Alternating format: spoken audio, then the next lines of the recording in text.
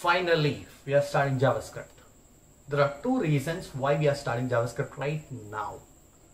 If you watch very carefully most of the development technologies which are built on the UI, it could be React.js, AngularJS, Vue.js or Electron.js. All these are JavaScript technologies which are built either for the mobile or the web. If your developer is building on these JavaScript technologies, don't you think appropriate for you to build automation also in JavaScript so that you can accelerate your code pipeline? Your DevOps becomes faster? Yes. So learning or implementing in JavaScript can help you.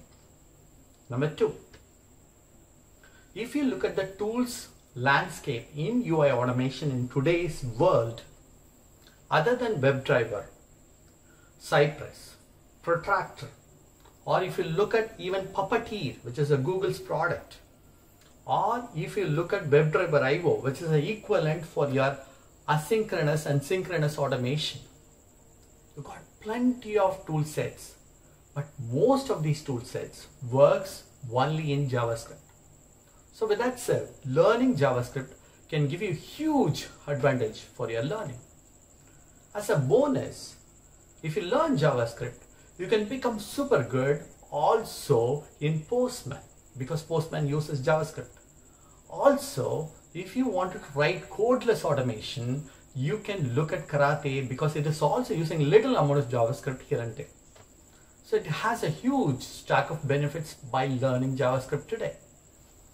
So in our program, it is a two weeks program where we coach you for one and a half hour every day from Monday to Thursday. I'll be the main mentor. I'll be supported with Bhavya. And we are going to do this for eight days where you learn JavaScript in depth. In addition to that, we are going to give you the recording for the program. Once you complete the course, you also get the certification. What else you need? You are just paying 1000 rupees for the entire program if you break down it is just 125 rupees per day. Don't you think it is worth spending 125 for learning javascript? And along with me see you in the program i'll be waiting for you. Thank you